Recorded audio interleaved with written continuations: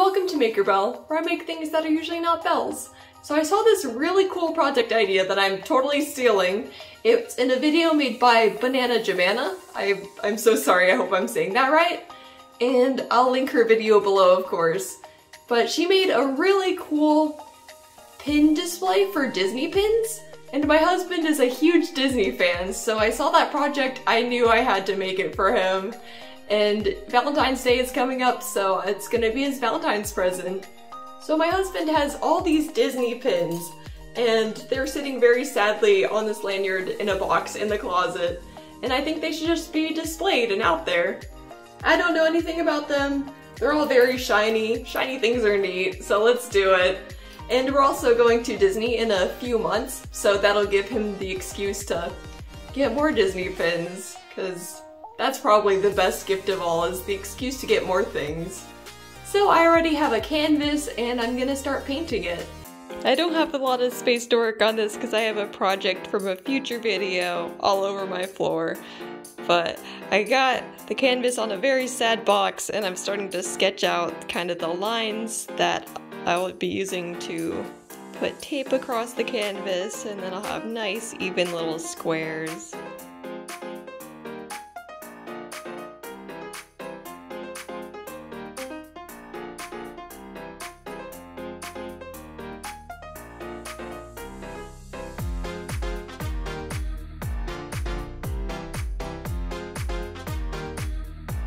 Oh no, I thought it was time to paint and then I realized this still includes the little gaps. Um, so I either need to tape off even more of the area or... Yeah, I don't know. We'll see. I decided to add even more tape so that the sections were about an inch and a quarter wide. And then I start painting. I'm making a color gradient that goes from red to yellowish green.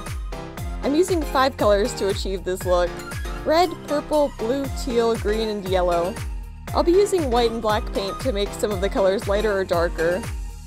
I'm using cheap paint, so I need to go over each color twice after it dried for a bit. I don't know how, but it took an hour to paint it all the squares. And look at this! The yellow paint exploded! Why?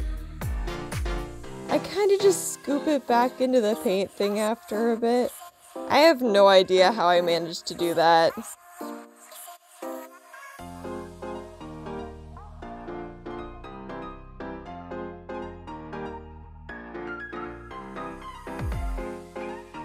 Okay, I need to take the tape off and I am very scared. I'm gonna pull it off slowly so it doesn't tear the paint or anything. There's so much tape on here, and I hate using tape because I feel bad for throwing it away after one use, but I'm gonna have to use new tape every time because apparently it doesn't absorb uh, the paint as well if it already absorbed it. Oh my gosh, this is so taped on. Oh, this is not an exciting reveal. I'm gonna be peeling off tape for like an hour.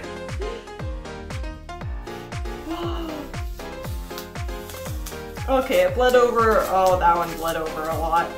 That one right there. That one's a bad one. Oh no.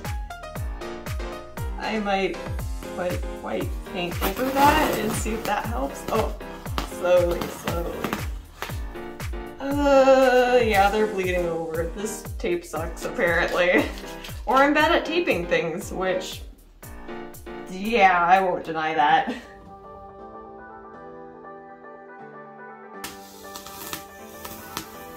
Okay, this one's good. It's just this first one that's so bad, and then the other ones are okay. Yeah, those aren't too bad. I'm glad it was one at the bottom that's bad, because it won't be too visible. Oh, ah, that's so much wasted tape. I'm gonna go through this whole thing of tape probably. I, ugh. That's awful. There it is.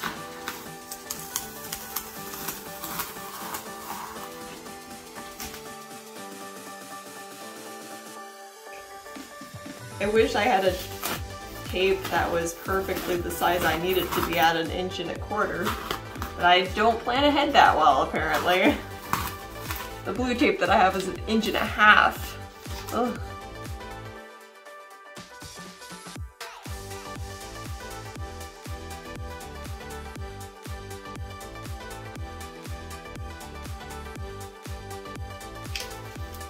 Thank you, thank you. Oh, can I have this please? Thank you. Very kind. Oh, okay, these aren't too bad.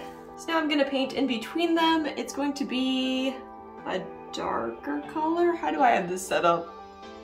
Yeah, it's gonna be the darker color next to these ones. Okay, I want to do um, two regular colors and then a lighter color and a darker color.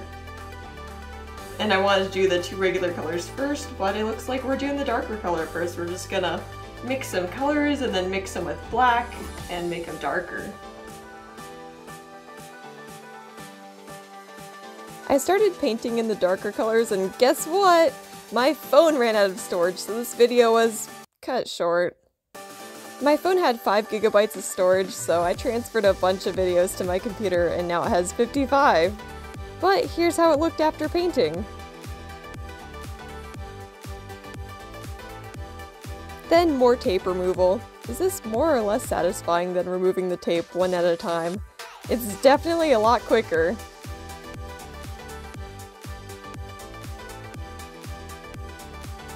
Uh, this is not good, this is not good. Okay, we have a bunch of squares that are smaller than other squares. We've got gaps between squares. I don't know what's happening. Maybe I'll try to fix it after it's done, but ooh. The colors all look good though. The colors look really nice. It's okay. It could be worse. I'm adding on the third squares, which are the same color as the first one. Also, I listen to podcasts when I film longer projects like this. During one of the recordings, my laptop freaked out and just played the same noise from the podcast. Like, I think the person from the podcast said book, and my laptop just played the uh sound for like a minute. I was trying to get it to stop, but the screen was black and the dumb thing would not turn off. So I held down the power button for like 10 seconds and it finally stopped being possessed. Then it turned back on and acted like it was just updating. Yeah, sure, more like downloading many ghosts. And the worst part is, I couldn't find that part when editing my video. I'm pretty sure it happened after my phone ran out of storage and stopped recording. Because of course it didn't want to witness my haunted laptop. The audacity!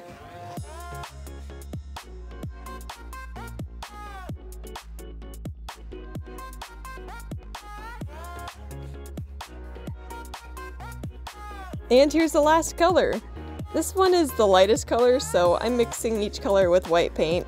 I didn't make some of the colors light enough, so I went back over them with a lighter color. I'm usually not a fan of paint, but I appreciate that I can easily cover up mistakes like that. My phone alarm ended up going off near the end of this recording, which stopped the recording because of course it did. But I noticed that it wasn't recording this time, so I didn't actually miss anything. Everything's all dry again, so get ready for the final reveal.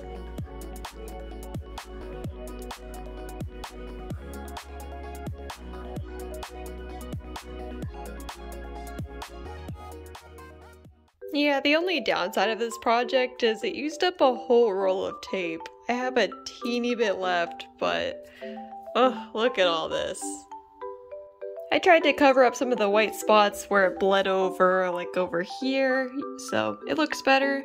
I also tried to blend this color, and it turned out darker because paint dries darker, apparently. I, I don't think I should try to blend any colors because it looks kind of weird. Um, I think I might just go with it as it is. I'll touch up some of the colors that don't need to be blended, like the these guys and I don't even know. There's some of them. It looks so cool though, even with all the weird gaps. I just painted between all of them with kind of a similar color, and it looks so much better. You can tell like, oh, this doesn't quite match, but it's better than the white canvas behind it. So I'm gonna add all the pins and the gift will be ready. I couldn't figure out how to get the backs off the pins, and it turns out you need the smallest hex wrench in existence. Look at this, it's so tiny. Why is it so tiny? It's the size of a pencil lead. So we had to go out and get one of those and then actually put the the pins on. But it turned out so good! Zach loves it. We're gonna have so much fun going to Disney and getting more pins for this because there's a lot of space left on this. And I also have this little ghosty that I got from the Etsy shop Majestic Mythical Makes. Yeah, once again, this was inspired by the pin holder that Banana Jamana made.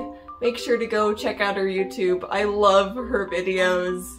And hers turned out much better, but I, I like mine. I love these colors. Thank you so much for watching.